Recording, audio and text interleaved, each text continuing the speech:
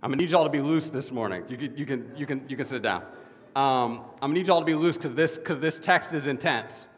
Um, it's, it's, it's gonna be, it's gonna be awkward at times, um, but we're just gonna have to, we're just gonna plow through it. We're gonna plow through it together. All right.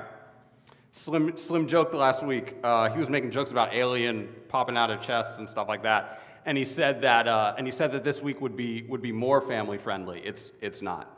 Um, so, so I apologize, uh, but, but, we're gonna, but we're gonna do it anyway. So, uh, so, let's, so, so we're in the book of Genesis. And so over the last few months, as we've gone through the book, the earth has gone through a lot. In, in Genesis 1, it was formed out of nothing by the triune God. And then this God creates human beings, gives them free will, and the opportunity to live in paradise or be kicked out and die and they choose the latter. And they corrupt the entire creation along with themselves. And, and one generation later, you've got siblings killing each other. And you, and you give folks a, a few more years, and murder and death have spread through the whole world. If, if a TV breaks in your house, who's responsible for fixing it? The one, the one, the one in the household who's, who's responsible for fixing electronics. I want, I want you to raise your hand. Okay, if your, t- if your TV freezes, what, what's the first thing you try to do? Turn it off and on again. Or unplug it and plug it back in, right? So if, your if, your phone, if your phone freezes, like that, like there, there, there are three options. You have a soft reset, a hard reset, and a factory reset. Soft reset is just, is just re, it restarts the it, it, it, restarts the phone. This is the this is the unplug, plug it back in option. But sometimes you need something a little. Some, sometimes you need a little more. The issue's a little bigger. So you go for the hard reset. So what's that? What that's going to do? It's going to it's to wipe your app's memories, but it's not to it's not going to wipe all your data. That's a hard reset. But sometimes the issue is even deeper. Sometimes the problem is systemic. Sometimes maybe there's a virus in your computer that's corrupted your data. At that point, you've got to go nuclear. You've got to do the factory reset. Data's erased, your phone is restored to factory conditions. If you think back to Genesis 1, the earth's factory conditions were a vast and empty mass of chaotic waters. And so God, in the flood, is saying, we're going back to factory conditions. I'm shutting it all down. That's what the flood, that's what the flood is. This isn't an unplug, plug it back in situation. This is this, this sin has corrupted the world to the point that God utters over it the declaration that this is unsalvageable. Except for Noah. Being a God of grace, God sets his favor on Noah and his family and saves them through the ark. He makes a covenant with Noah and the earth, and he tells Noah and his family to do what Adam and Eve were supposed to do to be fruitful and multiply. Start over. And in the background of this text, what's being said is hey, this time, do it right. Well, let's find out what happens. Please stand for the reading of God's word. We're in Genesis chapter 9, verses 18 to 29.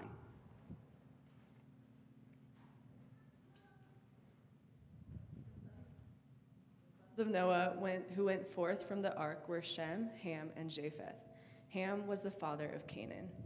These three were the sons of Noah, and from these the people of the whole earth were dispersed. Noah began to be a man of the soil, and he planted a vineyard. He drank of the wine and became drunk, and lay uncovered in his tent. And Ham, the father of Canaan, saw the nakedness of his father, and told his two brothers outside. Then Shem and Japheth took a garment, laid it on both their shoulders, and walked backward and covered the nakedness of their father. Their faces were turned backward, and they did not see their father's nakedness. When Noah awoke from his wine and knew what his youngest son had done to him, he said, Cursed be Canaan, a servant of servants shall he be to his brothers. He also said, Blessed be the Lord, the God of Shem, and let Canaan be his servant. May God enlarge Japheth and let him dwell in the tent of Shem, and let Canaan be his servant. After the flood, Noah lived 350 years. All the days of Noah were 950 years, and he died. This is the word of the Lord. Uh, please be seated. You can pray with me. Heavenly Father, we thank you for this opportunity to gather in your name or to hear your word uh, or to be shaped by your spirit. Lord, open your scriptures to us this morning. Reveal to us who you are, who you've called us to be, and the resources that you've given us to shape us. Heavenly Father, we love you, we praise you, and we pray these things in the name of your Son and by the power of your Spirit. Amen.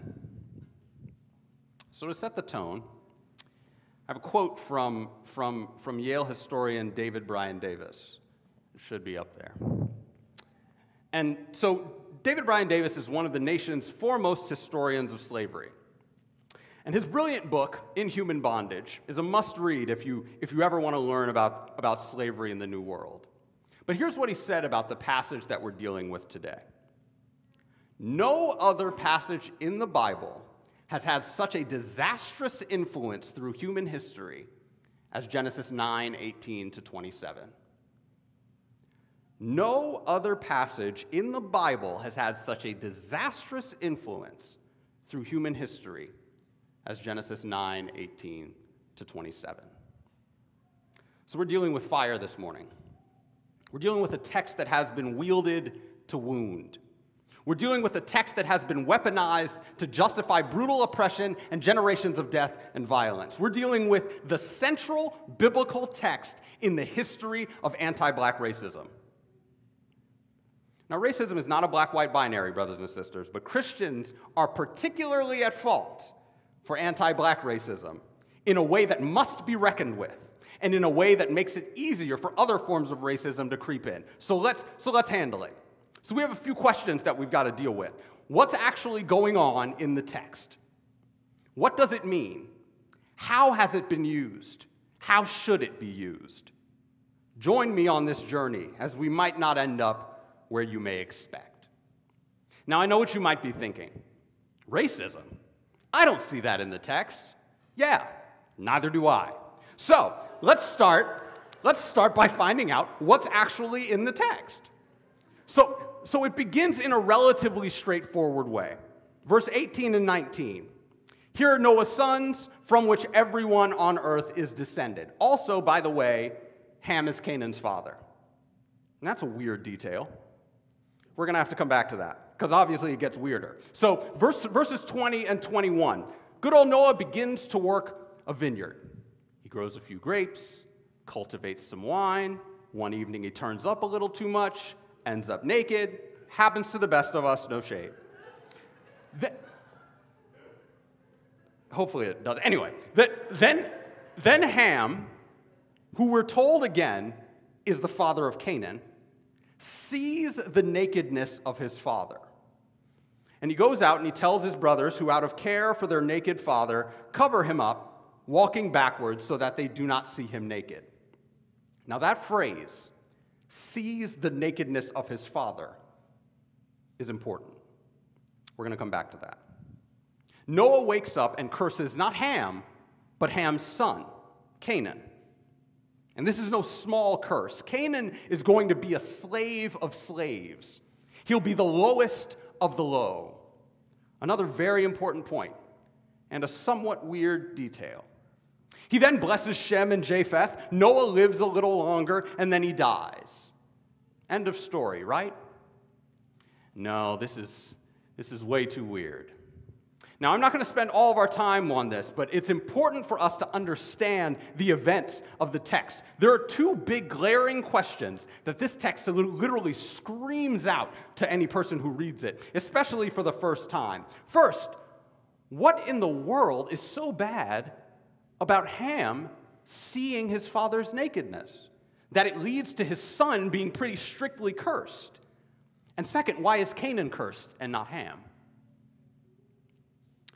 There are three common interpretations of what it meant for Ham to see his father's nakedness.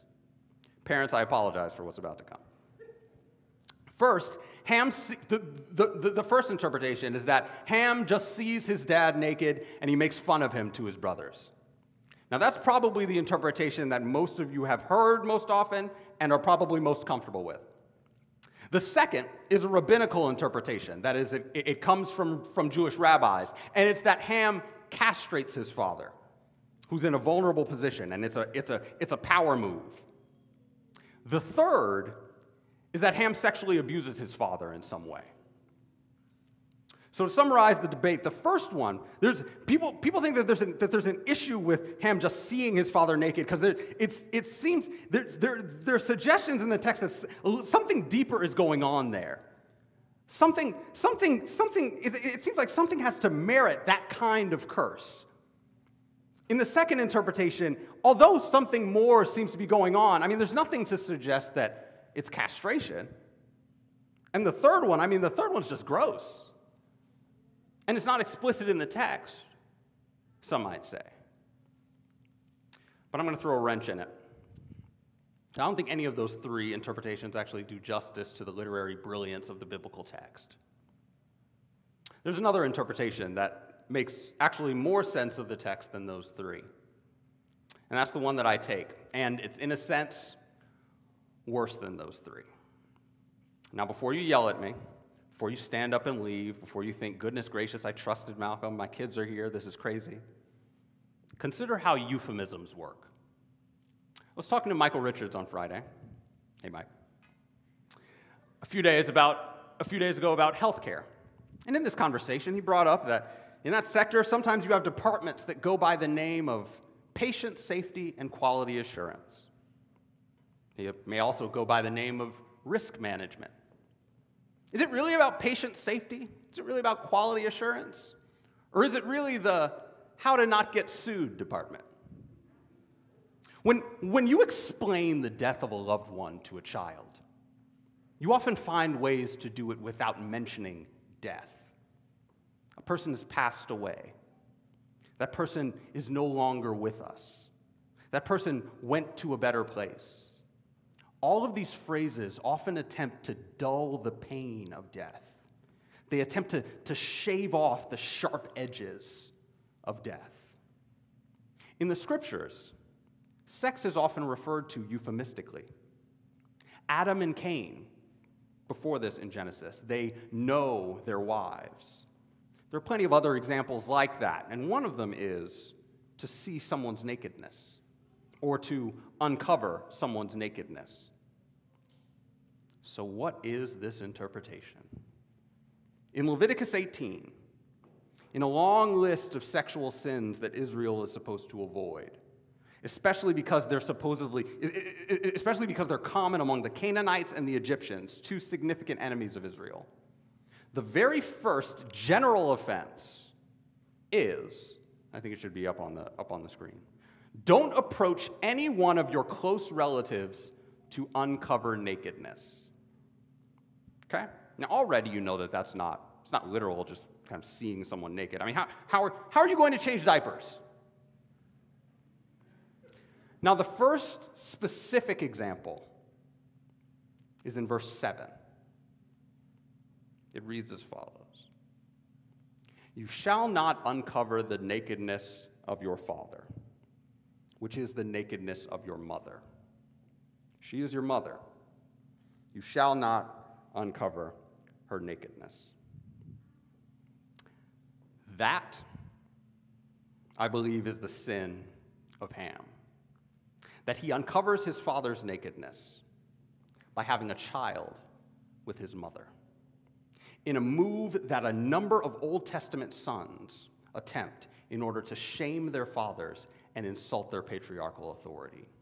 Something that, something that Absalom does to David's concubines in, in public. It, should, it, should, it, it, it shows up in a, few, in a few other places. And so then the pieces begin to fall together. Why, why is Ham constantly referred to as the father of Canaan? This is telling how he becomes the father of Canaan. Why is the curse so intense? Why does Noah wake up and know what his youngest son had done to him? Yeah, one more point of connection. The book of Genesis is all about beginnings. the original hearers and readers of this text, whether we're looking at, uh, or, or, or, whether we're looking at the people in, in the Exodus, or, or whether we're looking at the, the exilic community, the community coming, coming out of exile from the land, when they, when they hear Canaan's name, they know, wait a minute, this is one of our enemies. There's another text later in Genesis. After Sodom and Gomorrah, Lot, um, Lot and his daughters, Lot's daughters get him drunk and get pregnant by him. The fruit of that is Moab and Ammon, two of Israel's greatest enemies. These incestuous relationships lead to Israel's greatest enemies. As that happened with Lot and his daughters, so also with Ham and his mother. So, what's then going on in this text? Noah gets drunk, gets naked, presumably to be with his wife. Ham goes in, takes advantage, goes out and brags to his brothers. His brothers go in, clothe their father, and are extra careful to not even give the appearance of disrespect.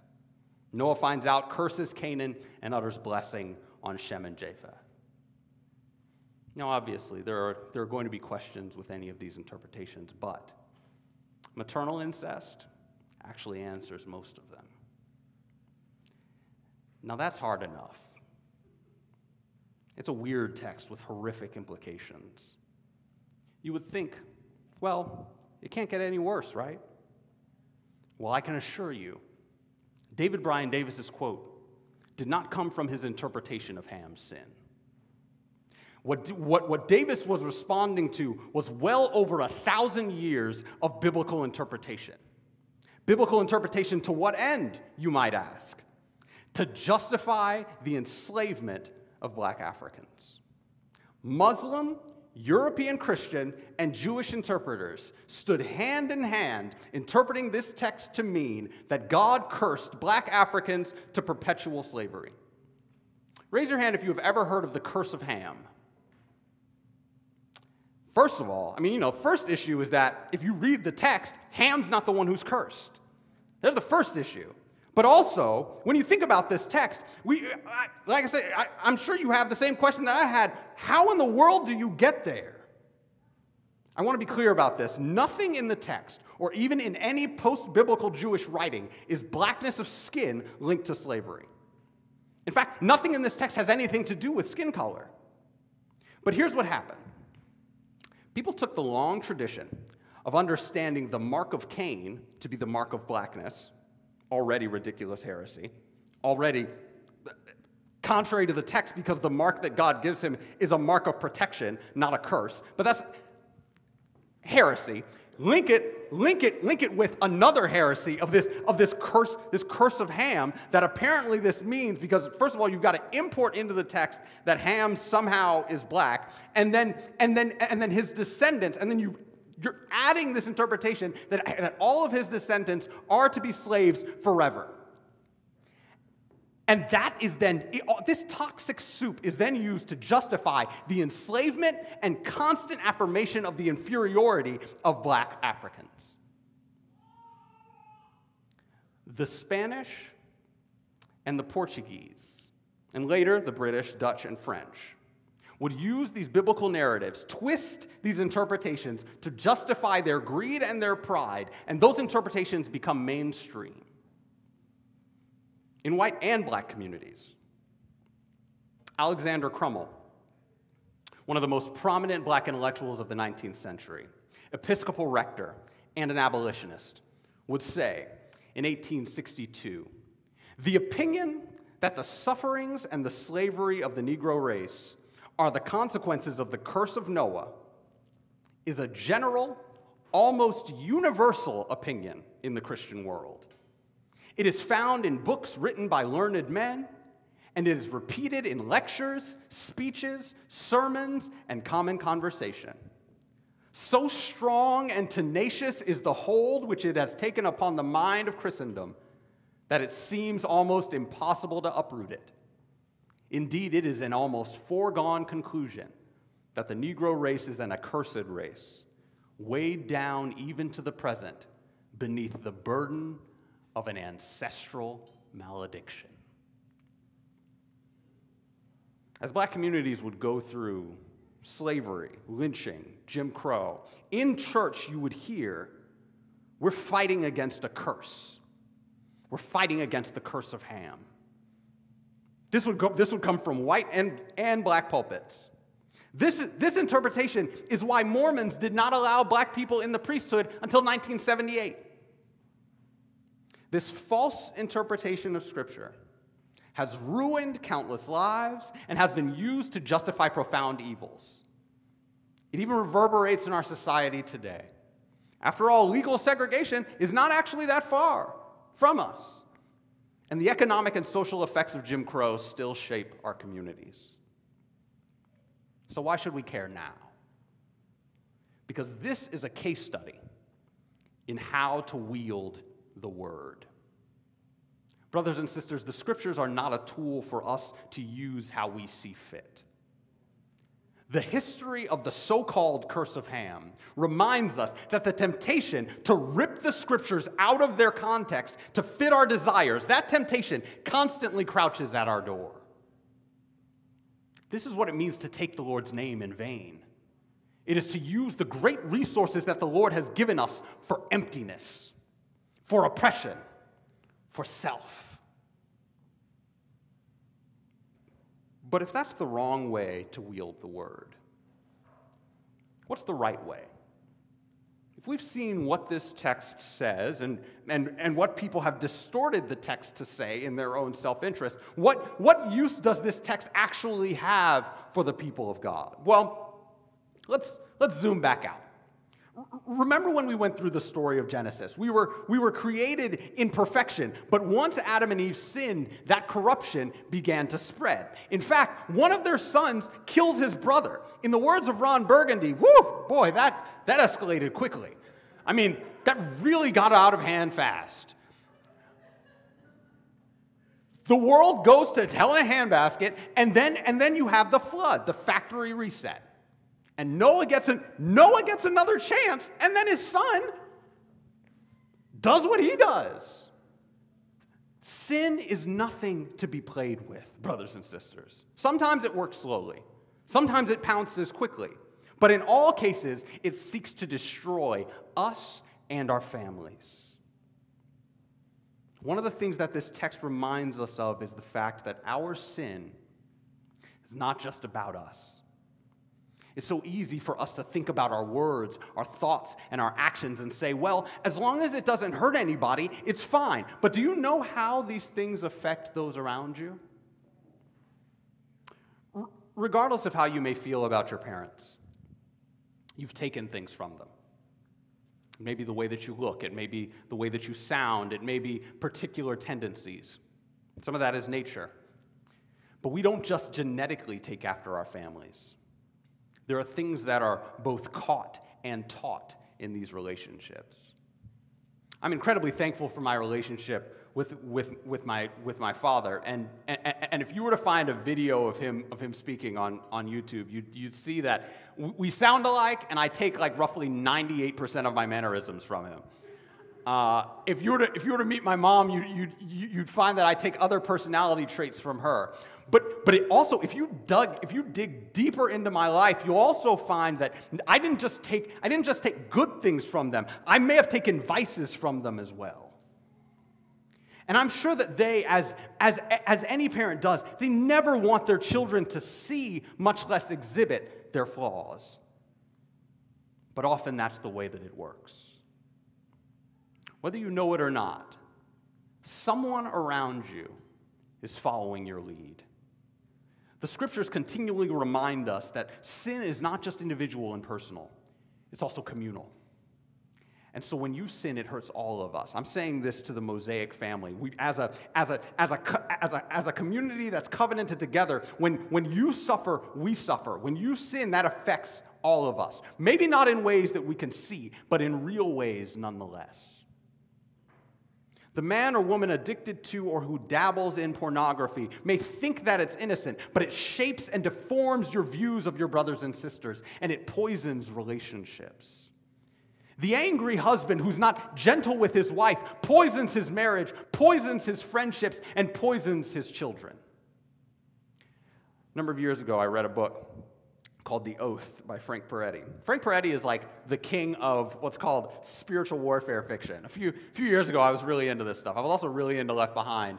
Great, great series, horrible theology, horrible theology, but great series. Anyway, Frank Peretti, in this book, in this book, The Oath, there's a town where, where, where members of the town develop a black rash that starts off small and incredibly painful but it eventually spreads, and the sufferer begins to lose the ability to feel the pain.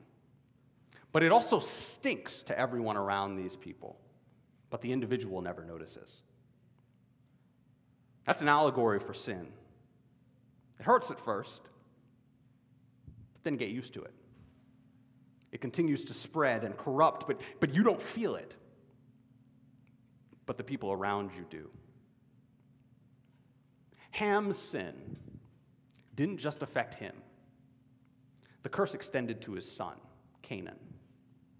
Canaan was cursed to be a slave of slaves to his brothers, and we see in the next chapter that numerous enemies of Israel would come from Canaan.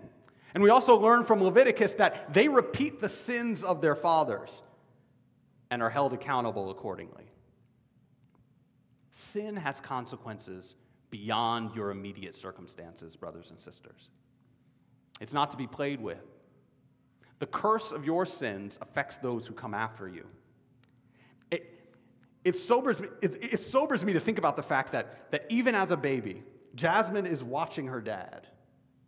She's watching how I treat Desiree. She's, she's, she's watching how I spend my time. She's watching how I interact with those around her. This, this morning, uh, as, I, as, as, as we were as we were getting ready for church, Desiree, Desiree would jokingly kind of, kind of block, block Jasmine's line of vision, and she, Jasmine would push, would push Desiree away to look at me.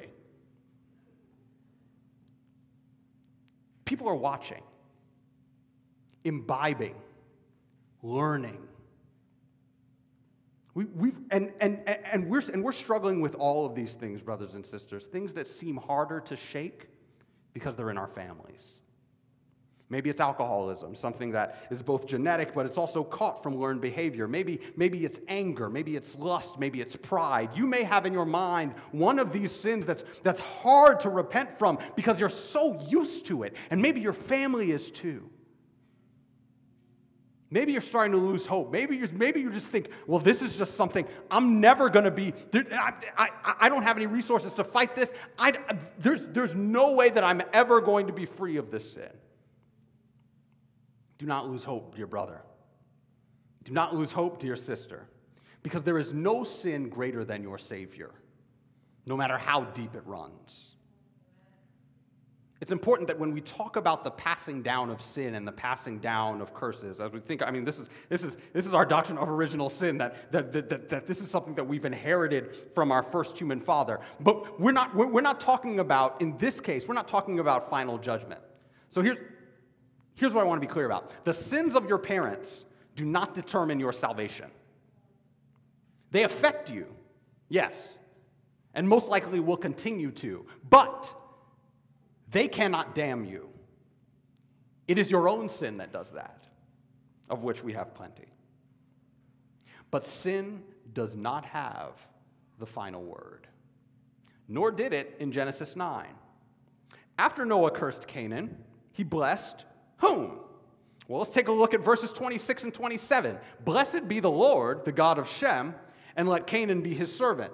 May God enlarge Japheth and let him dwell in the tents of Shem and let Canaan be his servant. Note that Japheth is, is blessed, but Shem isn't really explicitly blessed.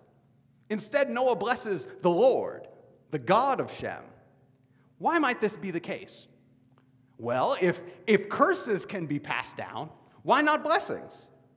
In fact, because curses are passed down, of course blessings are passed down as well. And so, though you may pace, though you may pass down the effects of your sin to those who come after you, if you're a member of the covenant community, you're also passing down you're also passing down blessings of being a member of that community. The Christian mother or and or father who have a child, they don't guarantee the salvation of that child, but one of the reasons that we as Presbyterians baptize infants is because we affirm that there are real, tangible, gracious benefits to being a member of the covenant community.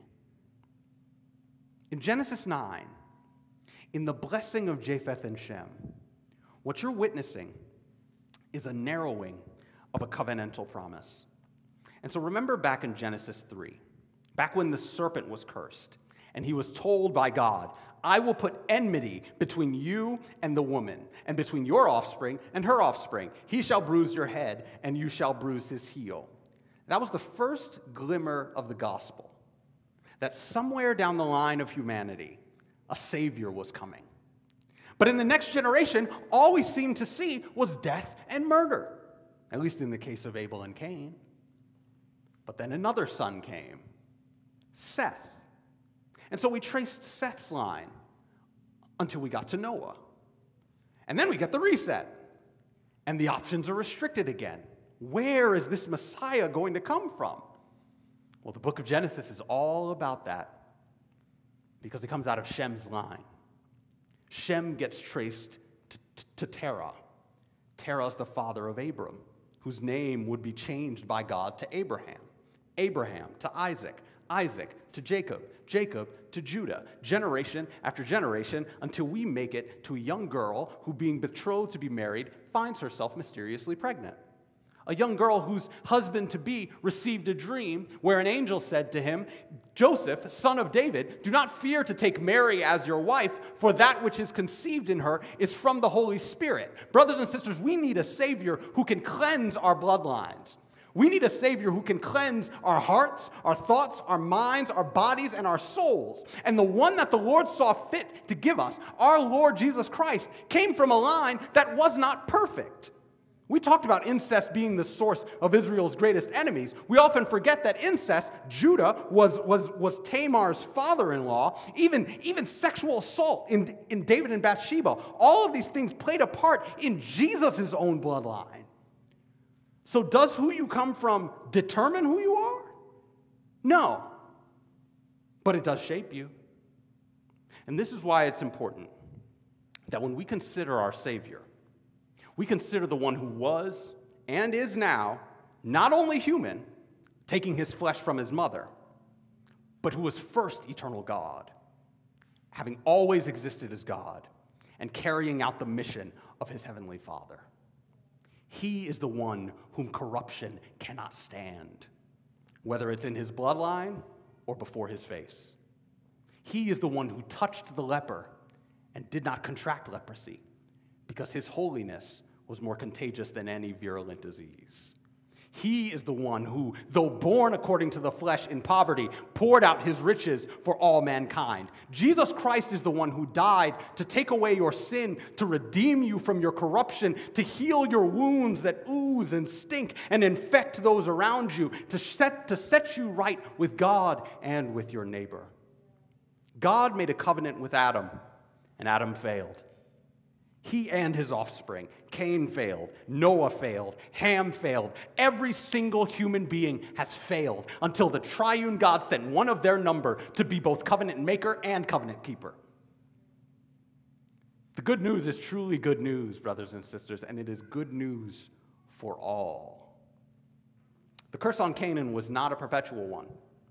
It was not a curse that would apply to all of his offspring forever. It was not even a curse that led to final judgment. Because remember, there are Canaanites in the covenant community of Israel. Rahab, Canaanite prostitute, in the line of Jesus. Ruth, a Moabite, in the line of Jesus. Nothing places someone out of the reach of the Savior. No curse, no nothing. So, how should you and I wield the word? We wield it for this purpose to show the world the grace of our God.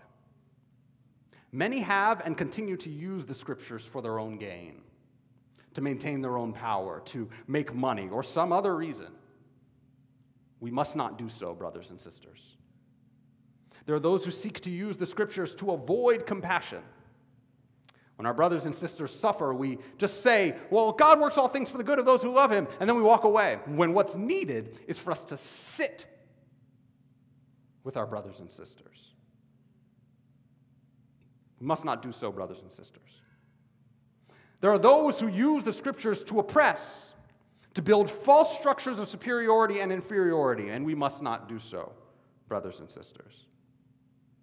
My grandma texted me a great quote from Charles Spurgeon about the church yesterday.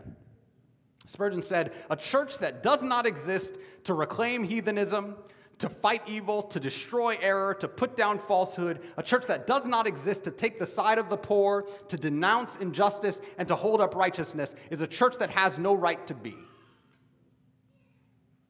May we be a church and a people who bring folks to Christ who take the side of the poor and the oppressed, who are loud in our denunciation of injustice and anything that tends toward oppression, who are beacons of repentance and righteousness. Why? Because Spurgeon says so? No, because the written word commands us to be so, and the enfleshed word by his Spirit empowers us to do so. let me say it one more time. Why? Why why are we to be that kind of church? Because Spurgeon said so? No, because the written word commands us to be so, and the enfleshed word, by his Spirit, empowers us to be so. By the Spirit, let us be joyful beacons of the word. Let us be conduits of the Lord's blessing. May we wield the word not as a sword to wound, but as a scalpel to heal. May, may we wield the word not as a club to bludgeon, but as a salve to soothe. May we wield the word not as a chain to oppression, but as a key to liberation. Because if the son sets you free, you will be free indeed. If you do not know that freedom, this is your invitation. The Christ of the Scriptures died to save you, to unite you to Himself. Trust Him. Yes, you're a wreck. Yes, your sin is impossible to fight on your own. Yes, you've tried over and over again and failed. Thankfully, your salvation does not depend on your performance. And in the face of a loving Savior, your corruption is not enough to keep him from you. Yes, sin escalates quickly, but grace abounds all the more. Throw yourselves at the feet of the, of the throne, dear brother. Throw yourself at the feet of the throne, dear sister. We'll be here to pray with you. Pray with me.